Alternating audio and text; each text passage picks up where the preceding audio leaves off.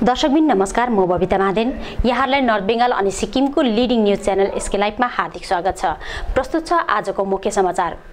आज बिहान मिरिक झिलमा दुई मृतदेह तैरिरहेको देखेपछि क्षेत्रमा एकाएक सनसनी मचिएको थियो। घटनाको जानकारी पाएपछि मिरिक थाना पुलिस घटनास्थलमा पुगी।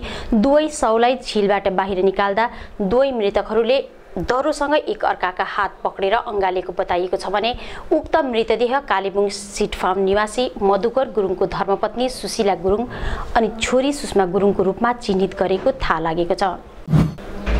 मिरिक झिलमा भएको दुःखद घटनामा दुई आमा छोरीले आफ्नो ज्यान गुमाएको छ भने यस विषय सम्बन्धी एसके लाइभको संवाददाता मृतकको घरमा पुगी मृतक सुषमा गुरुङको देउरानी गीता गुरुङसँग केही कुराकानीहरू गरेका छन्।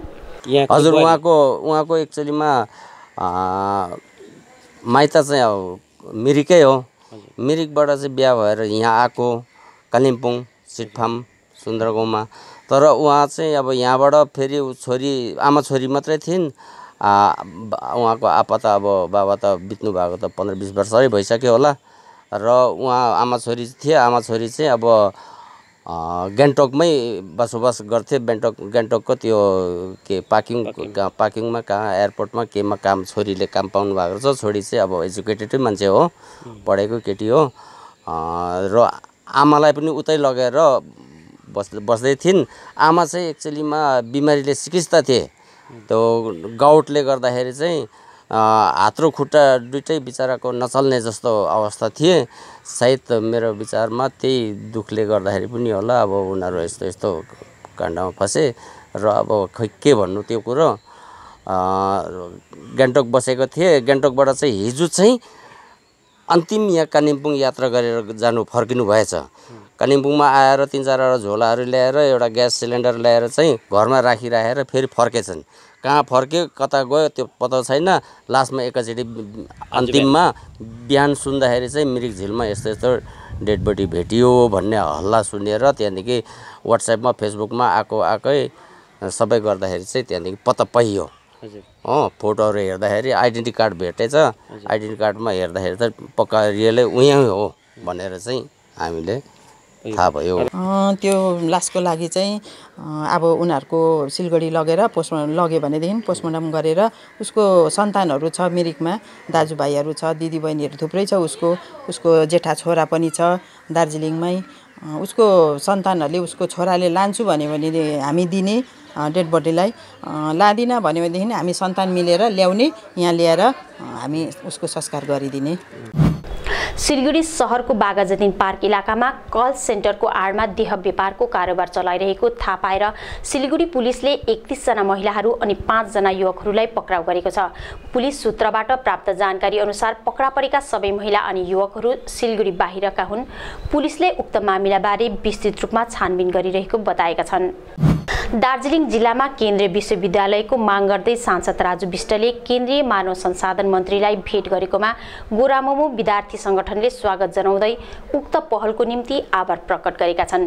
विद्यार्थी नेता अनमोल निरौलाले पत्रकार सम्मेलन डाकेर उक्त पहल यथार्थमा परिणत भएको दिन पहाडले शिक्षाको क्षेत्रमा ठूलो फड्को मार्ने बताउँदै केन्द्रीय विश्वविद्यालय दार्जिलिङ पहाडमा नै हुनुपर्छ भनी अपिल गरेका छन्।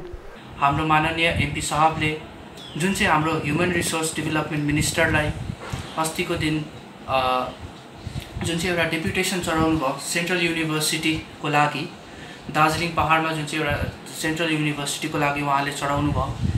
त्यसको लागि हामी उहाँलाई गोर्खा राष्ट्रिय विद्यार्थी मोर्चाको तर्फबाट धेरै धेरै धन्यवाद टक्राउन चाहन्छौँ र हामी उहाँलाई के पनि अपिल गर्न चाहन्छौँ भन्दामा यो युनिभर्सिटी जुन चाहिँ छ दार्जिलिङ पहाडमा नै बनिएको होस्। दार्जिलिङ डिस्ट्रिक्टभन्दा पनि छ दार्जिलिङ डिस्ट्रिक्टमा स्टेट युनिभर्सिटी एनबियुहरू आउँछ। तर जुन चाहिँ अहिले दार्जिलिङ पहाडमै स्थित नभएको कारणले गर्दाखेरिमा जुन चाहिँ कलेजेसहरूमा एडमिसनलाई लिएर एउटा मोनोपली र एट्रोसिटी भएको हामीले अनुभव गरेका छौँ त्यही चाहिँ नदौडियोस् सेन्ट्रल युनिभर्सिटीमा पनि भनेर हामी उहाँलाई अपिल हामी उहाँलाई अपिल गर्न चाहन्छौँ कि यो युनिभर्सिटी चाहिँ दार्जिलिङ पहाडमै केन्द्रबिन्दु गरेर बनियोस्। किनभने दार्जिलिङ पहाडबाट यो उठेको एउटा पुरानै मुद्दा हो भनौँ सेन्ट्रल युनिभर्सिटी। लोकसभा चुनावमा हारको नैतिक जिम्मेवारी लिँदै काङ्ग्रेस अध्यक्ष राहुल गान्धीले पार्टीको अध्यक्ष पदबाट राजीनामा दिएका छन्। राहुल गान्धीले भाजपाको ठूलो अन्तरको जितले देशको संस्थागत ढाँचामा कब्जा जमाउने आरएसएसको लक्ष्य पूरा भएको ट्विट पनि गरेका छन्। तिनले दलको अध्यक्ष भएको नाताले दुई हजार उन्नाइसको लोकसभा चुनावमा भएको नोक्सानको निम्ति आफू दायी रहेको उल्लेख गर्दै आगामी दिनहरूमा पार्टीको पुनर्निर्माणको निम्ति कठोर फैसला लिन अनिवार्य रहेको जनाउँदै राजीनामा दिएको बताएका छन्। समाचारको क्रममा अब पालो छ छोटो विश्रामको। अगर सपनों का घर है बनाना तो वृंदावन मार्बल्स ही है ठिकाना। जी हाँ अपने ग्राहकों की विभिन्न आवश्यकताओं को पूरा करने के लिए उत्पादकों और सेवाओं की एक विस्तृत श्रृंखला, वृंदावन मार्बल्स घर के सजावट सैनिटरी वेयर बाथ फिटिंग से लेकर मार्बल्स टाइल्स और ग्रेनाइट उत्पादकों की जरूरतों के लिए किफायती दामों में एक ही ठिकाना। मार्बल्स के मंदिर और मूर्तियों का भंडार इस क्षेत्र में और कहीं नहीं। Vrindavan marbles eastern bypass road Siliguri. Contact number nine Three to eight, three to eight, double one.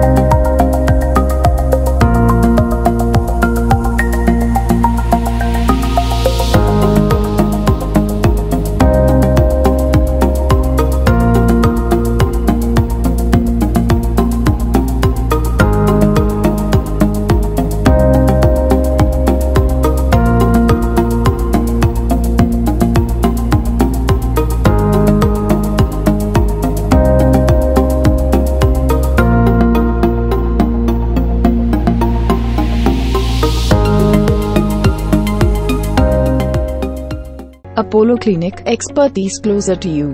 Apollo Clinic, now in Siliguri.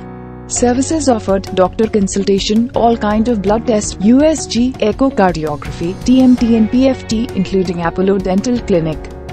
Apollo Clinic, Golden Enclave near Don Bosco More, Sevok Road, 2nd mile, Siliguri, mobile number 8900293111. From sales to services, a one-stop shop for all your technology needs Computer and hardware to high-speed copiers, printers, toner, lamination machines, note counting machines and CCTV cameras you will find a solution for all of your technology needs under one roof at Kusumin Fortech, Prince Hotel, Rishi Abindo Road, Hakim Para, Siliguri 993333 3401.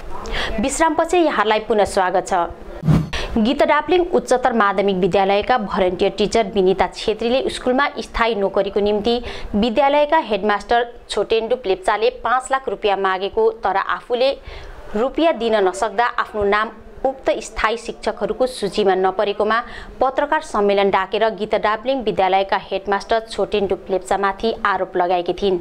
Vinita छेत्रीको आरोपको जवाबमा विद्यालयका headmaster छोटेन लेप्चाले पत्रकार सम्मेलन डाकेर उक्त आरोप तथ्यहीन रहेको एवं आफूले विनिता छेत्रीलाई रुपियाँ नमागेको बताउँदै यसको विरुद्धमा मानहानिको मुद्दा दर्ता गर्ने चेतावनी दिएका छन्। मुख्यमन्त्री ममता ब्यानर्जीद्वारा राखिएको राज्यको नाम पश्चिम बङ्गालबाट बाङ्ला बनाउने प्रस्तावलाई केन्द्र सरकारले खारेज गरिदिएको छ। केन्द्र सरकारको उक्त निर्णयबाट क्षुब्ध बनेकी ममता ब्यानर्जीले सिधै प्रधानमन्त्री नरेन्द्र मोदीलाई चिठी लेखेकी छिन्।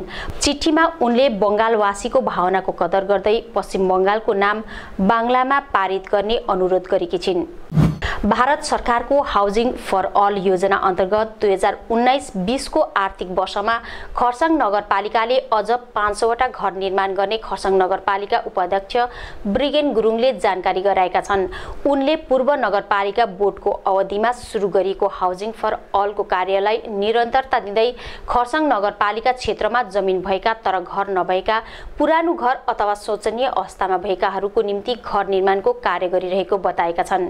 प्रधानमन्त्री नरेन्द्र मोदीले संसदमा चर्चाको अवधि अनुपस्थित रहने सांसदहरूलाई कडा चेतावनी दिएका छन्।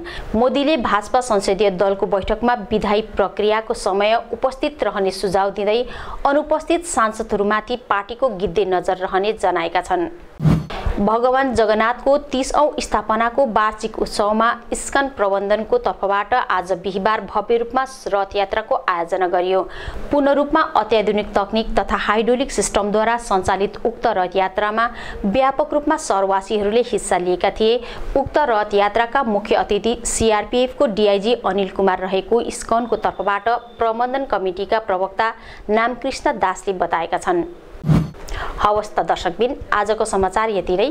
बाँकी समाचारहरूको निम्ति हेर्दै गर्नुहोस् यसकै लाइभ तपाईँको समय तपाईँको समाचार।